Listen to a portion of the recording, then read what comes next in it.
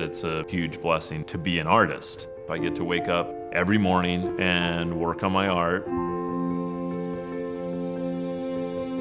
Rather than looking for the muse by just sitting and waiting for it, you do the work and the muse will come to you. Hello, Helen. How are you?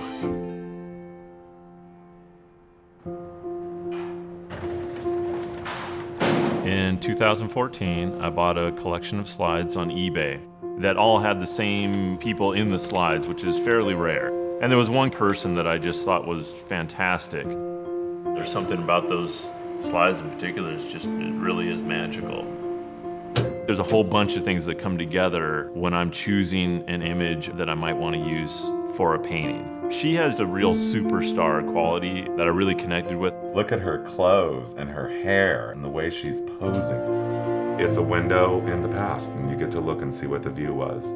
The moment I came into the Helen collection, I knew what it was. I knew they were all going to be very large paintings. So I'm looking at eight to 10 years of just painting Helen and documenting this life, which is just the best thing I could use my time to create. I decide, well, I should probably try to find the family if possible.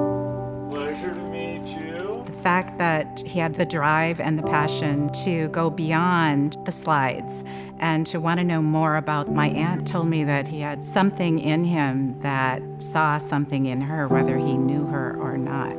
Unbelievable. Sometimes people don't find what they want to say, and for Rob, this seems to be that thing. It's just like pure joy.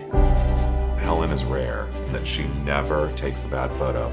She made you feel important, like your visit was the only thing she had time to do. This looks like about where she would have been, and I kind of wish I could take this building home with me. He does little miracles in the form of each little brushstroke. Robert's captured a window of Helen's presence. if she would have seen it, it would have brought back good memories.